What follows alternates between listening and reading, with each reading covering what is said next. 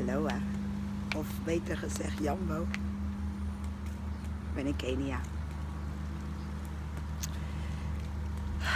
Vanochtend wakker geworden met een uh, prachtig inzicht.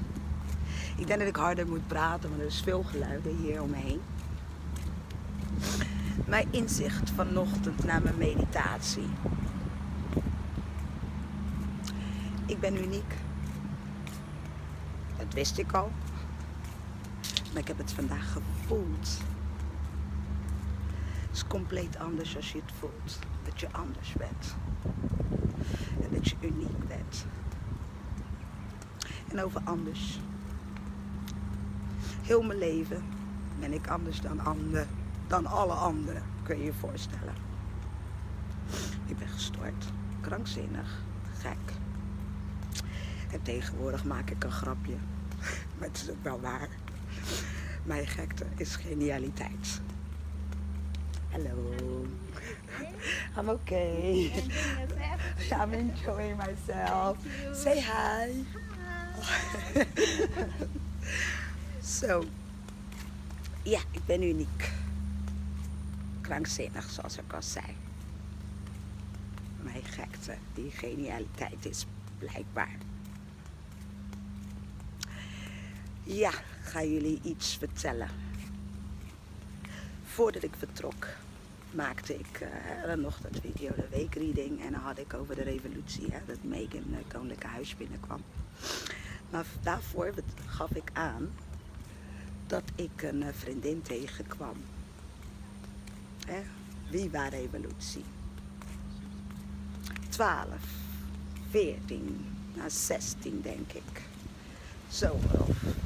Mijn juwelen, de dames. Tininha, Merle, Meredith, Betty, Nancy, Sharani. Ja, en voordat ik vertrok kwam ik Sharani tegen.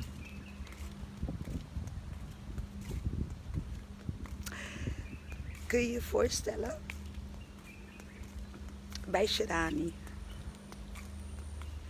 werd het nog duidelijker. Mijn krachten, mijn talent, mijn licht, mijn zijn. Sharani, Nancy en Rut en ik liepen ooit een woning naar binnen. Er was een meneer die was iets aan het roken wat niet sigaretten was en ook geen wiet. En uh, Nancy en ik hadden een hele sterke intuïtie hoor. En wij zijn weggegaan. En we hebben Shrani achtergelaten.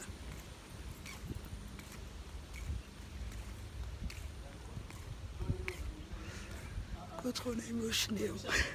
Maar het gaat toch even aan jullie vertellen. Want daardoor, dat gevoel vandaag, hè. Voordat ik vertrok dus, kwam ik Sharani tegen. Sharani is verslaafd geraakt. En kun je je voorstellen dat ik de verslavingszorg in ben gegaan op de hoop dat ik haar zou kunnen redden? Omdat we toen we 14, 15 waren, durfde ik niet te vertellen wie ik was. En ik heb me altijd daar schuldig om gevoeld. En ik hoopte als ik de verslavingszorg inging dat ik haar zou tegenkomen. Dan zou ik wel de waarheid nu aan de vertellen zeggen, kom we gaan naar huis. En dan kan ik nu wel voor je zorgen. En dan kan ik wel menne zijn. En ik zag haar reis al, toen ik haar achterliet. De volgende dag kreeg ik een droom en ik heb haar gezocht. Nooit meer gevonden. Wel eens elkaar gezien. En keer op keer als ik de zag herkende me soms niet. En dan rende ik naar Nancy huilend. Maar ze groep me niet. Eh, maar laatst kwam ik haar tegen. En ze zei, ja man, I know. Ik heb het al gehoord, ik heb het al gezien dat je vlogt. Zoals je dat zelf zegt, het was mijn reis. Je bent niet verantwoordelijk voor mijn gedrag. Je kon me niet redden. En weet je dat ik eigenlijk heel mijn leven heel vaak heb gedacht dat ik anderen moest redden. Het is me duizend keer verteld, je bent niet verantwoordelijk voor andermans gedrag. Maar toch heb ik het altijd wel ergens vastgehouden. Het was mijn hel, hè. Mijn schuldgevoel. En ja, en vandaag viel het puzzelstuk. Ik ben uniek, ik heb een bepaalde talent. Ik kan mensen helpen. Ik kan ze vertellen, links of rechts. Maar ik ben niet verantwoordelijk welke reis ze maken. Het is me tienduizend keer verteld. Kun je je voorstellen, pas vandaag voel ik het. En ook mijn uniekheid, is die me tienduizend keer verteld. Ik moest naar Kenia om dat echt te voelen.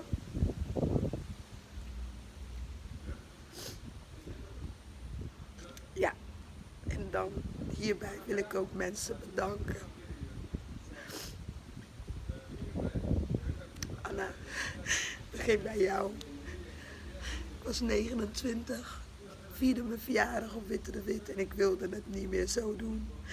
Ik wilde mijn licht, ik wilde mijn talent delen, ik wilde mensen helpen. En ik kwam jou tegen.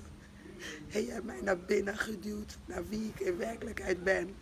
Je hebt een avond georganiseerd met prachtige ladies die nu nog in mijn leven zijn. Laura, Stef, Auxilia, die doet het ook zo goed met massage. Ga bij haar langs. Wendy. En uh, ik mocht ze rieden. En uh, ze waren me zo dankbaar in één per één. Die hebben me echt, oh kijk nou vlinder op mijn arm. Is dit niet bijzonder? De transformatie. Laat hem ook even hier bij me staan. Wauw. Dit is toch wel heel bijzonder. Maar goed. Ik ben jullie dankbaar. Vinette, Jacques, Quincy, Tyrin, Wendy, Melanie. Bedankt voor het vormen. Bedankt voor mijn bijstaan. En echt 100% bijstaan van treed naar buiten. Ga, de wereld heeft je nodig. Ik noem ze mijn hoge priesteres. En dan mijn maan, mijn nicht. Ik kan niet zonder jou leven, dat weet iedereen. Ik kan het echt niet zonder jou, Manuela, echt niet. En het is geen leugen. Het is echt waar. En ik weet dat je het weet in heel de wereld. En uh, Guido, de man die naast me staat. Kun je je voorstellen dat Guido het voor elkaar krijgt om mij elke dag mooi te laten voelen? Elke dag. Schatje, echt. Je bent meer dan een king voor mij. Samen zijn we bellen in het beest. Hè? En dan zeg ik altijd, ben ik het beest. En hij bellen. En dan staan we te dansen met elkaar.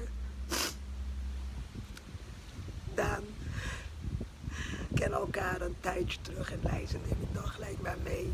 Maar uh, ik leefde verscholen. Ik, uh, heel lang geleden hebben we elkaar ontmoet. En het was gelijk, gelijk een match.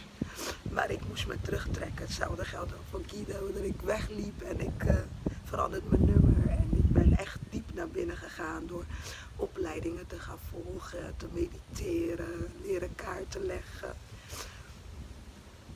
En die drie, daarom zie je me heel vaak hun posten, prezen. En het is echt niet gek, maar zoals ik al zeg, Guido laat me dagelijks mooi voelen. En daar, ja, ik werk met de planeten en astrologie. Zij is mijn zon. En ze heeft het zon ook uit me gehaald, mijn hart. Kun je je voorstellen, ondanks haar reis, dat ze soms 14 uur reist voor de prachtigste foto's. En dat ze nog elke dag bij staat. Gewoon stilstaat om mij te appen of te bellen om te vragen als ik aan het stralen ben. Elke dag doet ze dat. Schatje, ik heb geen woorden voor jou. Lijze, je bent een ster. Je bent mijn ster. Je hebt het verlicht voor me.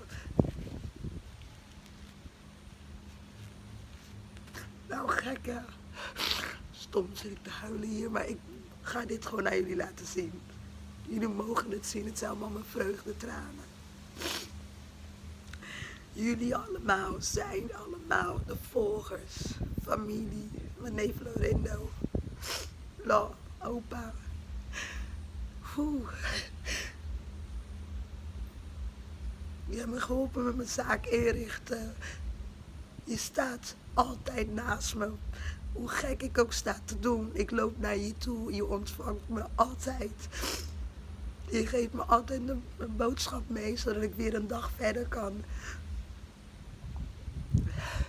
Mijn mama. Mama. Dat is knettergek hoor. Daarom ben ik zo gek. Kun je je voorstellen zij de taak kreeg om mij op te voeden. Schip. Mijn papa. Mijn kind. Die heeft me het geheim van het leven verteld. Sinds ik kon denken, heeft me verteld dat ik een godin ben. En dat alle vrouwen godinnen, prinsessen. Alles hertoginnen, maar we weten het niet. Maar hij wilde dat ik het wel zou weten.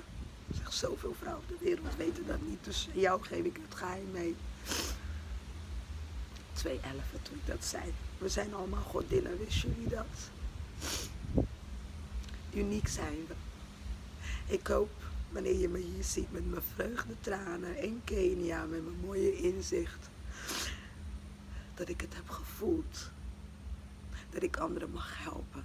Maar ik ben niet verantwoordelijk voor de keuze dat zij maken.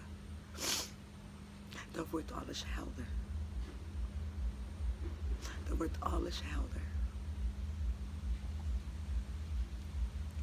Volgers, ik heb zo lang naar erkenning gezocht. Moment dat ik mijn eerste video postte, stonden jullie daar allemaal. En jullie volgen. Jezus, België, ik blijf het zeggen, dames. Familie, vriendinnen. Roos, Iscamella, ik ga je ook noemen. Jullie hebben me zo geraakt. Rosa, bedankt. Bedankt. Ik hoop dat wanneer jullie me hier zien met mijn vreugdetranen, dat jullie het ook mogen voelen hoe uniek je bent. God heeft nooit een fout gemaakt. Echt waar. Je bent perfect zoals je bent. Dat zei Daisy ooit tegen me. Daisy, Davega, dank je wel voor dat. Dank je. Dus met de afsluiting. Ik ben perfect. Ik ben krankzinnig. Die ook wel geniaal maakt. Ik ben een uh, medium. Ik breng licht. Ik verlicht mensen, hoop ik. Geef healings. Trek tarotkaart. Ik hou me bezig met astrologie. En ja, niemand doet het op de manier dat mij het doet. Dank jullie wel. Voor alle, alle steun. Dank je, dank je, dank je wel. Mijn laatste puzzelstuk in Kenia, die wil ik met jullie delen.